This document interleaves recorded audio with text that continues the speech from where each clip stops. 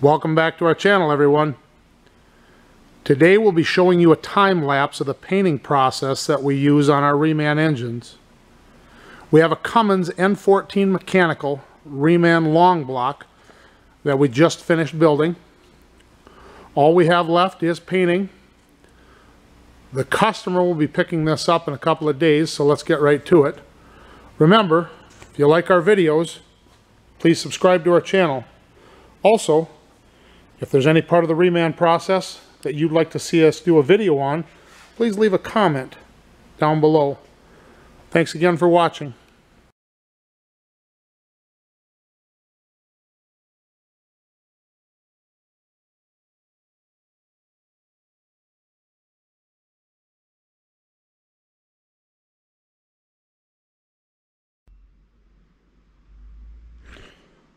Okay, here's what it looks like when we're ready for the first coat of primer.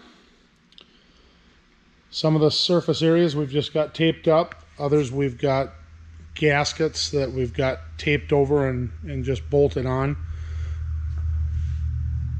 All of the holes in the block that need plugs or fittings have got soft plugs put in them. Every uh, surface area is covered up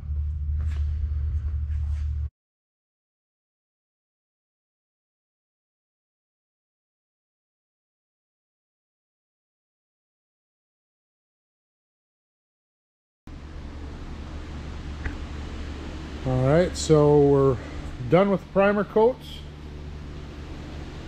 About ready to spray the first coat of black on it. And this is what it looks like.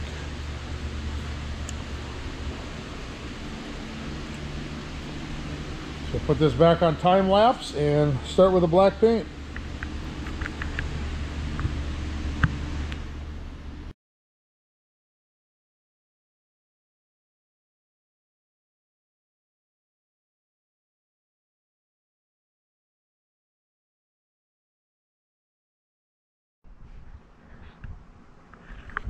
Okay, so we've got all the painting done.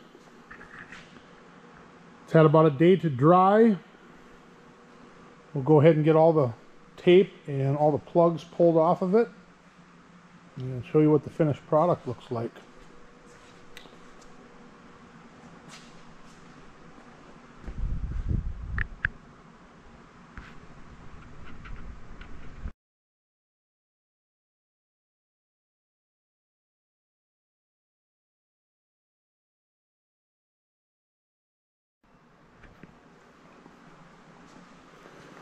Okay, so you can see this one here is finished.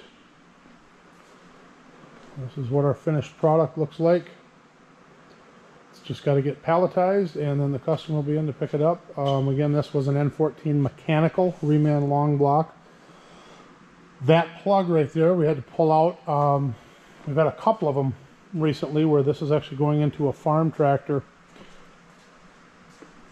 And uh, that's where the block heater goes on these farm tractors.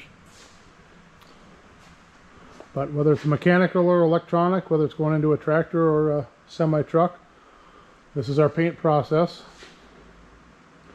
Hope you enjoyed. Um, once again, feel free to leave us a comment down in the uh, bottom here and don't forget to like our channel.